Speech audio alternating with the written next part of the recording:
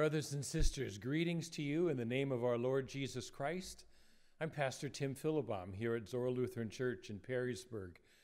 And it is again a delight to be with you for worship, even though we're worshiping on such distanced ways with masks and all the crazy COVID stuff. It's still be good to be together, and the, and the presence of Jesus surrounds all the wonderful technology and all the wonderful people who are engaged. So it's good to be together. We, uh, if you'd like to join me in a moment of confession, here is, I, I begin in the name of the Father and of the Son and of the Holy Spirit. Here are some words that you may wish to join with me in. Faithful God, have mercy on us. We, are, we confess that we are captive to sin and cannot free ourselves. We turn from your loving embrace and go our own way we pass judgment on one another before examining ourselves. We place our own needs before those of our neighbors. We keep your gift of salvation to ourselves. Make us humble, cast away our transgressions, and turn us again to life in you through Jesus Christ our Lord. Amen. Brothers and sisters, God hears the cries of all who call and through the death and resurrection of Jesus, here's the promise your sins are forgiven. Led by the Holy Spirit, live a new life in the awesomeness and grace of God. Amen. Let us pray. Almighty and eternal God, you show perpetual loving kindness to us, your servants. However, we cannot rely on our own abilities so grant us your merciful judgment and train us to embody the generosity of your Son, Jesus Christ, our Savior and Lord. Amen.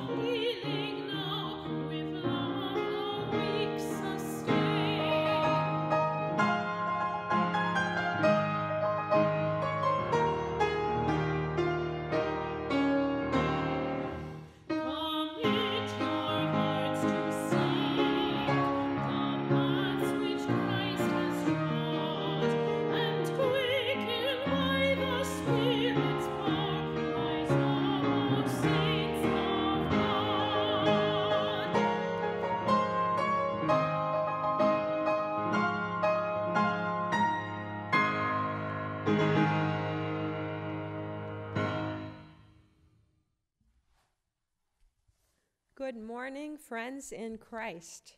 This is the 16th Sunday after Pentecost. It's wonderful to be here with you today, right here from the sanctuary, to hear the Holy Word. So I'd like to start with Psalm 145. I will extol you, my God and King, and bless your name forever and ever. Every day I will bless you and praise your name forever and ever. Great is the Lord and greatly to be praised. His greatness is unsearchable.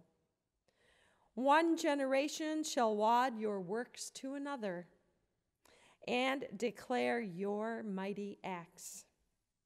On the glorious splendor of your majesty and on your wondrous works I will meditate.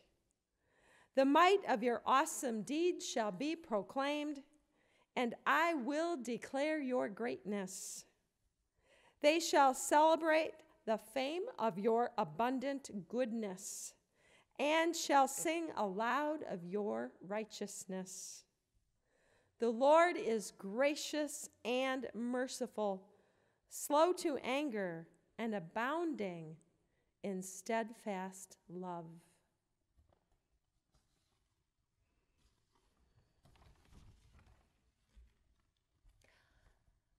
Our gospel lesson for this morning is the Gospel of Matthew, chapter 20. Glory to you, O Lord. For the kingdom of heaven is like a landowner who went out early in the morning to hire laborers for his vineyard. After agreeing with the laborers for the usual daily wage, he sent them into his vineyard. When he went out about nine o'clock, he saw others standing idle in the marketplace, and he said to them, You also go into the vineyard, and I will pay you whatever is right. So they went. When he went out again about noon and about three o'clock, he did the same. And about five o'clock, he went out and found others standing around, and he said to them, Why are you standing here idle all day? And they said to him, Because no one has hired us. He said to them, You also go into the vineyard. And when evening came, the owner of the vineyard said to his manager, Call the laborers and give them their pay, beginning with the last and then going to the first. When those hired about five o'clock came, each of them received the usual day wage. Now, when the first came, they thought they would receive more.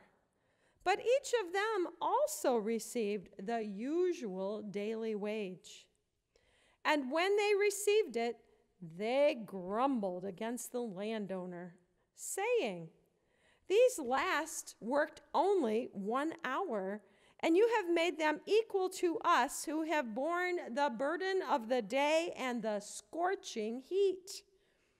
But he replied to one of them, Friend, I am doing you no wrong.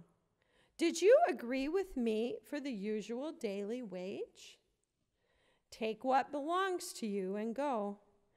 I choose to give to this last the same as I give to you. Am I not allowed to do what I choose with what belongs to me? Or are you envious because I am generous? So the last will be first, and the first will be last. This is the gospel of the Lord. Praise to you, O Christ. Grace and peace to you from God our Father and from our Lord Jesus Christ. You know, I always think about what a sermon should be titled. And today, if I were to title this sermon, I would say, We have a God of surprises and generosity. Yes, we have a God who gives us unexpected blessings. As the psalm today says, the Lord is gracious and merciful, slow to anger, and abounding in steadfast love. All these words that I just said, they are telling us the character of our loving God. This is the God whom we believe in. Today's gospel story, Jesus told a parable. You probably all know what a parable is. It is an earthly story with a heavenly meaning. Jesus told these stories to people so that they could relate to them because these are like everyday common things that they are aware of. You know, parables have been going on for a long time. Not only Jesus telling these stories, but also in the Old Testament, there are parables. And scholars and rabbis and teachers and prophets, they tell stories in a fashion that people will be able to relate to them, and then they'll be able to think about the story, wonder about the story, they may even wonder what actions they should take because of this particular story, this particular teaching. So, today's story, boy, it is a surprise. Today's story, today's parable that Jesus is telling, where the last will be first and the first will be last, he is telling this story so that we can understand that we have a God of surprises and generosity who is a blessing to us. And remember what I said this is the God we believe in. This parable, some people love it because it shares what a gracious God we have. And some people don't like this parable. They say it is unfair. So the story begins talking to us about a landowner. And this landowner, this landowner represents God. And he goes out to get workers, laborers that he is hiring for the day to work in his vineyard. So the vineyard is possibly representing believers in, in the Lord. So you've got the landowner who's God, the laborers, the workers who are the believers, the servants helping helping the landowner. And then you have you have this story that is sometimes hard to understand. This landowner, he went out very early in the morning, dawn, maybe right when the sun rose. And then he went out at nine, and he went out at noon, and he went out at three, and he found people all those times to work in his vineyard. And we heard that it was a long day and they were scorched by the heat. They were probably hot and sweaty, and they worked hard for that daily wage that they were promised. This landowner also goes out at 5 p.m.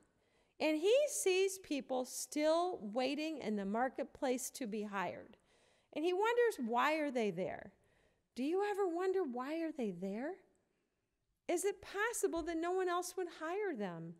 Were they too old? Were they too sick? Were they injured? Were they new to town? Nobody knew if, how they would work and they didn't have experience? Could they have possibly been a troublemaker? Might they have had no one who could speak a good word for them? But guess what? The landowner says, Come. So they came and they also worked.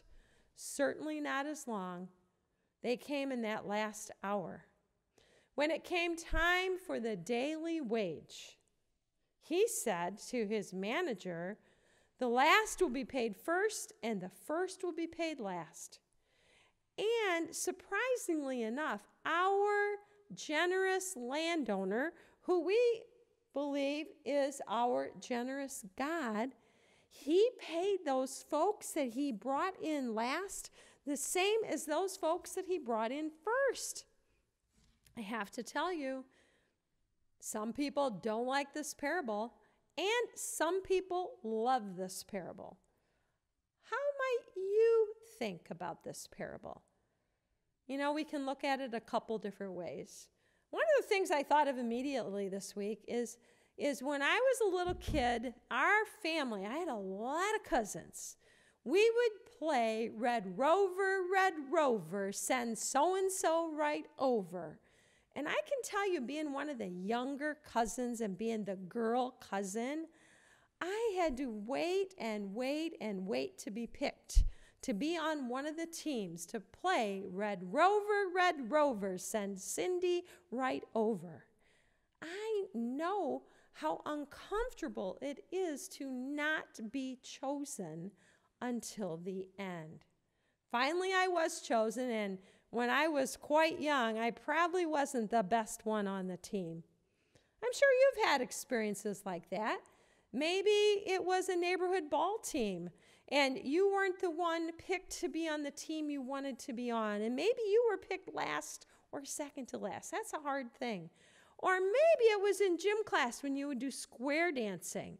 I don't know about you, but I always remember we would pick a partner, and I always felt so bad for the last couple people who got picked as they were waiting and waiting. And I'm sure in their minds, they were saying, Please pick me, please pick me. This landowner did go out and he did pick the people who were still waiting to work on that day. You know, in those days, you might only work one day at a time and you get a daily wage, and that might be exactly what you need to feed your family for that day. So when I look at this generous landowner, I look at our generous God, our generous God who created us and who loves us. And you know, there are some of us who come to believe in God, who come to have faith in the Lord, who develop a relationship with Him, who pray with Him, who read the Bible and learn stories about Jesus about the promises of God, about the kingdom of God. We learn about God's grace, God's mercy, God's love, God's healing, and we receive comfort from what we learn. And some of us, we do that from the beginning of our lives as a little child. So we are kind of like those workers who got picked early in the morning we have the privilege of knowing the Lord God all our lives and to spend time with Him and, and to receive His loving care and kindness and generosity and blessings. Then there are those who don't get to know Him for a long, long time, for whatever the reason. Even though God created them, they don't have a relationship yet with Him. They're not serving Him, they're not spending wonderful time with Him. This might happen to a person finally when they reach the age 30 or 40 or 50 or 60 or 70 or 80 or 90. I heard about a woman one time who came to know the Lord when she was 90. And everyone was so happy for her. She finally got to know the Lord's love and mercy and grace and generosity. And everyone was happy for her. I heard that she said, Oh, had I known the Lord sooner, my life could have been so much more fulfilling because I would have known that I have a Lord who loves me, a Lord who is with me always someone who I could lean upon for strength in my difficult times, someone who could have comforted me and gave me hope when I needed it the most. These were her thoughts. Other th- people in the background might have thought, here is this 90 year old woman. Now I'm kind of comparing it to the gospel story today. Here is this 90 year old woman, and she is going to get the benefits of our loving Lord, and she didn't even come to believe in him until the very 11th hour of her life, the very last hour. But as I look at this particular parable, I know that we have a God who loves us, who cares about us, who has compassion for us and mercy for us, He gave us his son, Jesus Christ our Lord. That's how much he loves us. He gave us Jesus who died on the cross. And we have the ability to know Jesus, to sing with Jesus, to pray with Jesus, to receive Holy Communion, Jesus' body and blood. We have those privileges. Some of us have had those gifts our entire life. This woman who is 90, she finally gets them. She finally knows the Lord. She's grateful. Some people can't understand how God can offer those gifts, the same gift, I'm talking salvation now, to that person who comes to Him in the 11th hour. Well, my hope is, as you hear this story that Jesus tells, that no matter when we come to be with the Lord, the Lord is generous and kind and merciful. And whenever we come to the Lord, so I don't know about you, have you come to the Lord yet? Or do you have others in your family, in your neighborhood, in your workplace? Have they come to the Lord yet? I think it's important for us to share with others our experiences of the Lord so they too can come to the Lord. It's never too late. Our Lord loves us and cares for us always. So think about this story. And I hope you think about it in a way that is wow, we have a generous God who blesses us all versus like, what's going on here? That just ain't fair. I'm glad we have a God who cares about every individual, every one of us. Remember what I said earlier. We have a Lord who is gracious and merciful, slow to anger, and abounding in steadfast love. Abounding. And Remember what I said? What would I title this sermon? We have a God of surprises and generosity. This is the God we believe in. This is the God who loves us, and this is the God whom we love too. May the peace of God, which passes all human understanding, Keep your hearts and minds in Christ Jesus our Lord. Amen. And God bless you.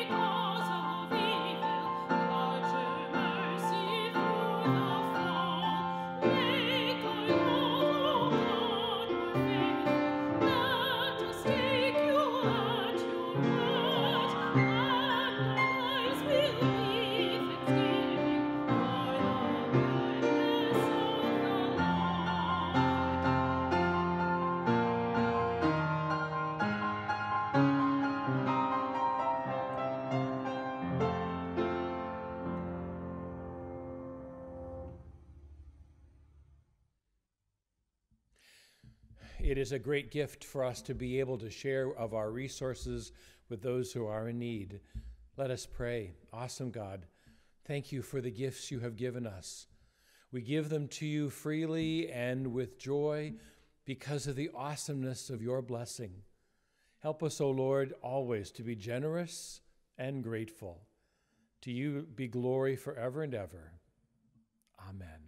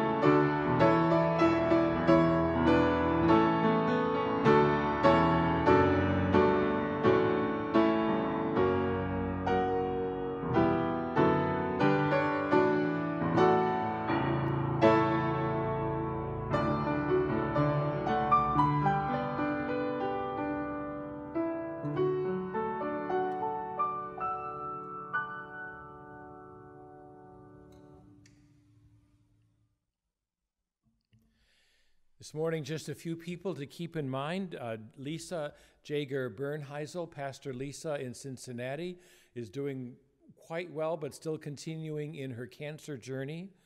We hold on to Dale Mosier, presently at home, and, uh, and uh, continue to lift up all those who are in need. Today, this being Sunday, today after, at, from at six o'clock tonight at Woodlands Park, in Perrysburg for those of you who are able to gather. We're having a Perrysburg hymn sing. There will be places for us to come to be distanced, to be masked. There will be a band. We will sing all sorts of awesome hymns.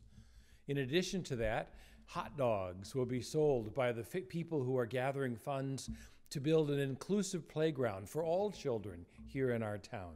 Six o'clock, Woodlands Park. So, with that, let's pray.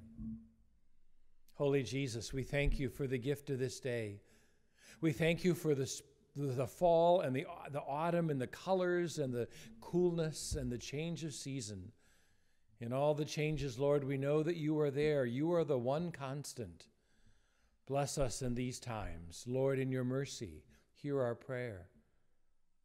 We lift up all those in, in fire areas out west and those in flooding areas down south and all those who are in ravages of nature.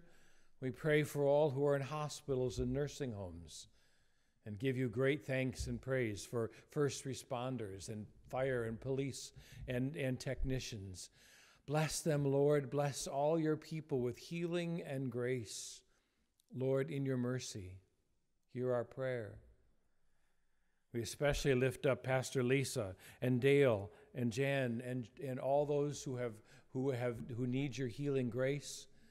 We especially lift up this congregation and all who proclaim your love. Bless us that the world may know your presence. Lord, in your mercy, hear our prayer. And as we come closer to the election, Lord, we ask your blessing on our president, our governor, our mayor, and all elected officials, and all those running for election. Bless them, O Lord, with your guidance and your wisdom, and heal this land, Lord, in your mercy. Hear our prayer. Into your hands, O Lord, we commend all for whom we pray, trusting only in your mercy through your Son, Jesus Christ, our Lord. Amen. May the Lord bless you and keep you. The Lord make his face shine on you and be gracious unto you. The Lord look upon you with favor and give you peace. In the name of the Father, and of the Son, and of the Holy Spirit. Amen. Go in peace. Serve the Lord. Thanks be to God.